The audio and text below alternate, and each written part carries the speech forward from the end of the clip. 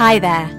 I'm going to show you how to set up and use your Accu-Chek Performa Nano blood glucose monitoring system. Now, if you're worried about learning the steps involved, don't be. I'll walk you through everything to make it as simple as possible. Just follow my lead. It's all divided into small sections, so if you miss anything, you can always go back and watch that part again. Now, the first thing to do is to make sure you have everything you need to start testing. You should have the following items an Accu-Chek Performa Nano meter, a container of Accu-Chek Performa test strips, an Accu-Chek FastClix finger pricker, and an Accu-Chek FastClix lancet drum.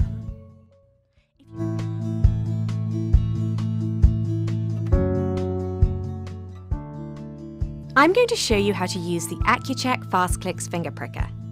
With this device, there are no individual lancets to handle or dispose of, making it much easier to use. First, you will need to load your finger pricker. For this, you will need an Accu-Chek FastClix lancet drum. Each drum contains six preloaded lancets. So when you load one drum, you're actually loading six lancets. Remove the cap from the finger pricker. Now insert a new lancet drum, white end first. Push it all the way in. It should fit firmly into place.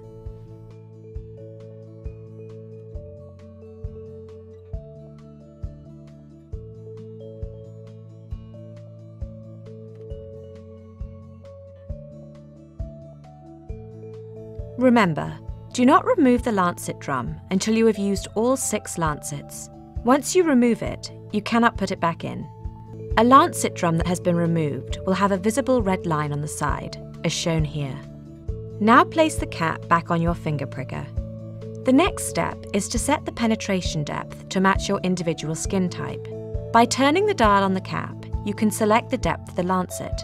We recommend that you start with a low depth setting, such as 2, you may need to adjust the depth setting a couple of times until you find the right level for your skin type.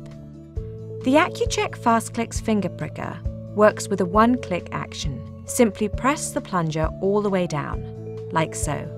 This will prick your finger. After each test, you will need to advance to a new lancet. To do this, simply push the white lever back and forth once. The new lancet is now ready to use. You'll notice that the number in the white window has decreased by one. This tells you the number of lancets that you have remaining. When the number shown is 1, you're using the last lancet. After using it, you'll need to change the lancet drum.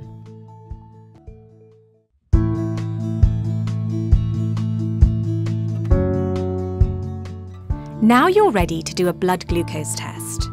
First, you'll need to choose a finger to take a blood sample from.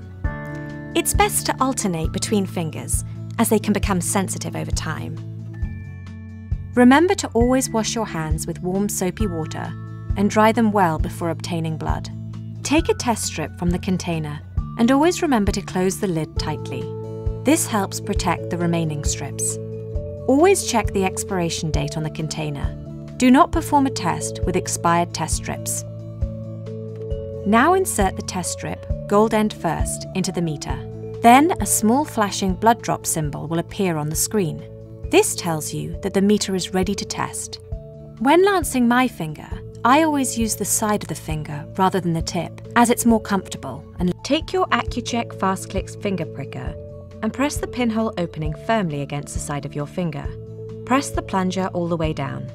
This will prick your finger. Massage the finger in the direction of the fingertip to help the blood drop form. Now place the end of the test strip against the drop of blood and let it fill. When enough blood has filled the strip, a small hourglass symbol will flash on the screen to show you that the meter is working. Your blood sugar reading will be ready in 5 seconds. It's just that easy.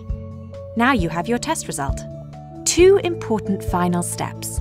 First, dispose of the used test strip. Then advance to a new lancet by simply pushing the white lever back and forth once.